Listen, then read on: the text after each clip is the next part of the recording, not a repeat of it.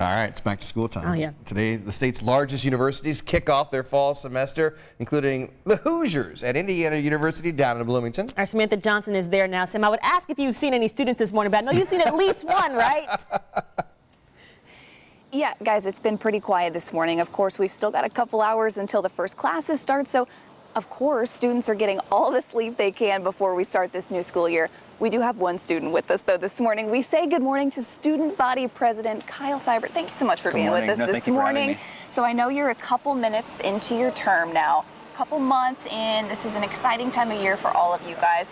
Give us maybe an idea of something that you are looking forward to this year that the students can look forward to as well. You know, I think for me, um, this is my first normal college year. I'm a junior this year, so we Yeah. began in 2020, and so just seeing how everyone's coming back to campus and just the live, the liveliness and energy that we have this year is something I haven't seen in a couple of years. So we're all really excited to sort of see what that manifests into this coming year, um, and how we can sort of channel that into a, a new and maybe improved college experience for everyone here on campus. Yeah, it's good news that we're getting back Totally to a little bit news. of that Totally normalcy. news, yeah. Something else on the minds of a lot of folks is student safety, right? And so, how Yep. are you guys as student leaders also making sure that that's a priority? Right. So one initiative that we're working on um, that was actually the idea of the student body vice president Bell is called the Red Zone Initiative.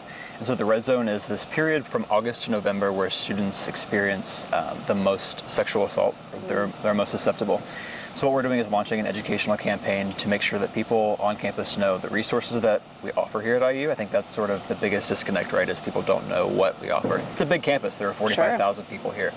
So making sure that people know the resources that we offer here, know that people here care about you is really important to um, their, their personal safety and their personal well-being on campus. Especially from other students, I think that's Absolutely, important. So, for our freshmen, I know it was a couple years ago you were a freshman here on there. campus. I was right there, yep. Also, so for our freshmen, maybe our families at home watching this morning, give us a piece of advice as they start the new year. You know, I had the really great opportunity last week to speak to our freshman class, and so I had three pieces of advice then. And so I said, start on the right foot, go to classes, leave your dorm room door open, all those like little pieces of advice that you've heard leading up to this point.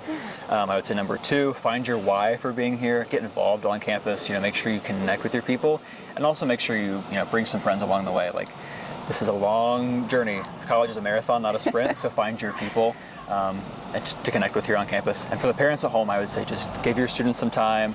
Um, give them some space, but also make sure you reach out to them and make sure that they're adjusting to campus life um, as they as they hopefully should be. Well, Kyle, I appreciate you saying that, and that's advice that all of our college students can take, right? And guys, we know Hoosiers aren't the only ones going back today. We've also got Purdue University, Ball State University, IUPUI, and Marian University all go back today. So we say good morning and good luck to all of the students up early with us this morning. Carlos.